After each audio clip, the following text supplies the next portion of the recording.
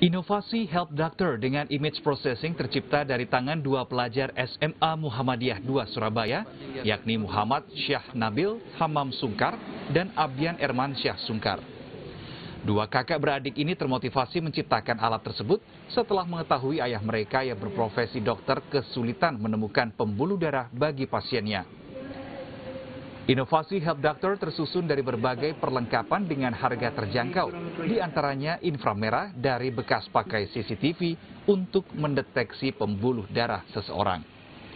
Alat ini dilengkapi dengan kamera khusus yang terhubung langsung ke komputer. Alat Help Doctor diklaim memiliki tingkat akurasi yang signifikan dalam mendeteksi pembuluh darah seseorang.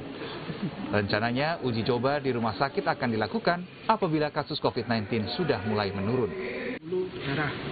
Nah, jadi alat ini menggunakan prinsip pemantulan uh, inframerah.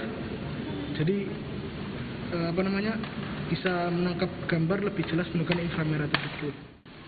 Karya inovasi Help Doctor ini meraih juara di ajang Indonesia Science Project Olympiad atau ISPO 2020 yang digelar Edukasi Universal Indonesia atau Eduversal. Karya tersebut nantinya akan mewakili Indonesia dalam ajang informatik tingkat internasional di Rumania. Dari Surabaya, Catur Irawan, Metro TV.